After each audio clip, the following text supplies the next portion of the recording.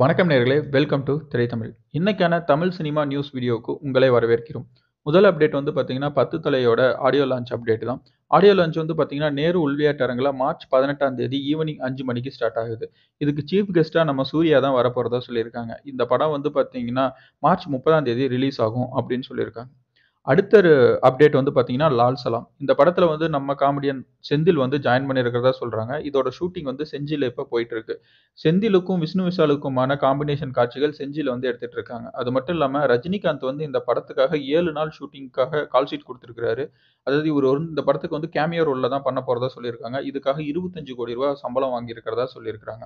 அது மட்டும் இல்லாமல் இந்த படம் வந்து பார்த்தீங்கன்னா கிரிக்கெட்டை மையமாக வச்சு உருவாக்கிட்டு இருக்கு அதுக்கடுத்ததாக பார்த்தீங்கன்னா அகிலன் ரிலீஸ் ஆகி அஞ்சு நாள் ஆயிடுச்சு. இதோட பாக்ஸ் ஆஃபீஸ் வந்து பார்த்தீங்கன்னா பதினொன்று புள்ளி ஐம்பத்தஞ்சு கோடி ரூபா வசூல் பண்ணியிருக்கிறதா சொல்லியிருக்காங்க. படத்தோட பட்ஜெட் வந்து பார்த்தீங்கன்னா இருபத்தஞ்சு கோடி ரூபா அப்படின்னு சொல்லியிருக்காங்க. இன்னமும் போட்ட பட்ஜெட்டே எடுக்கலை அப்படின்னு சொல்லியிருக்காங்க. அடுத்த அப்டேட்டு அருள்நிதி நடிக்கிற புது படத்தோட first look and motion poster நம்ம சிவகார்த்திகேயன் இன்னைக்கு ரிலீஸ் பண்ணியிருக்காரு. இந்த படத்தை டைரக்ட் பண்ணுறது கௌதம் ராஜ் அப்படிங்கிறவர் டைரக்ட் பண்ணுறாரு அடுத்த அப்டேட் வந்து பார்த்தீங்கன்னா இந்தியன் டூவோட அப்டேட் தான். இந்த படத்துக்காக ஒரு பிரம்மாண்டமான ரயில் சீக்வன்ஸ் ஃபைட் வந்து எடுக்க போகிறாங்களாம் இது வந்து உலக தரத்தில் இருக்குமா இதுக்காக வந்து அவங்க சவுத் ஆப்பிரிக்கா போகிறதாவும் இந்த ஃபைட் சீக்வன்ஸ் வந்து கம்போஸ் பண்ணியிருக்கிறது திறமையான நடன கலைஞர்கள் வந்து பண்ணியிருக்கிறதா சொல்லியிருக்கிறாங்க. இதுக்காக நம்ம கமல்ஹாசன் வந்து பதினாலு நாள் ஷூட்டிங் கொடுத்துருக்காராம். இதுக்கு இப்போ வந்து அவங்க சவுத் ஆப்பிரிக்கா போகிறதா சொல்லியிருக்கிறாங்க. இந்த ஃபைட் சீக்வன்ஸ் தான் ரொம்பவும் இம்பார்ட்டண்டான சீன் அப்படின்னு சொல்லியிருக்காங்க. படத்தோட முப்பது பர்சன்டேஜோட சீக்வன்ஸ் தான் மீதி இருக்குது. அதாவது ஷூட்டிங் தான் மீதி இருக்குது சீக்கிரமாக முடிச்சுட்டு இந்த வருடம் தீபாவளிக்கு இந்த படத்தை வந்து ரிலீஸ் பண்ணலாம் அப்படின்னு முடிவு பண்ணியிருக்கிறதா சொல்லியிருக்கிறாங்க.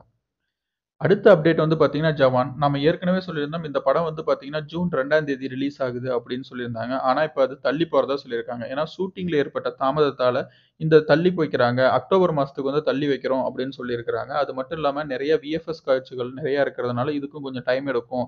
அதனால நம்ம வந்து அக்டோபரில் வந்து போகலாம் அப்படின்னு முடிவு பண்ணியிருக்காங்களாம். ஒருவேளை லியோ கூட ஜவான் வந்து மோதுறதுக்கு நிறைய வாய்ப்பு இருக்குது அப்படின்னு பேசிகிட்டு இருக்காங்க. சமீபத்தில் வெளியான படம் வந்து சிங்கிள் சங்கரம் ஸ்மார்ட் ஃபோன் சிம்ரனும். இந்த படம் வந்து பார்த்தீங்கன்னா ஓடிடியில் ரிலீஸ் ஆக போகுது. என்னைக்கு அப்படின்னு பார்த்தீங்கன்னா மார்ச் பதினேழாம் தேதி டென்ட் கொட்டா அப்படிங்கிற ஓடிடி பிளாட்ஃபார்மில் வந்து ரிலீஸ் ஆகும் அப்படின்னு சொல்லியிருக்காங்க. இந்த மாதிரி சுவாரஸ்யமான விஷயங்களுக்கு எங்கள் சேனலை மறக்காமல் சப்ஸ்கிரைப் பண்ணி வச்சுக்கோங்க.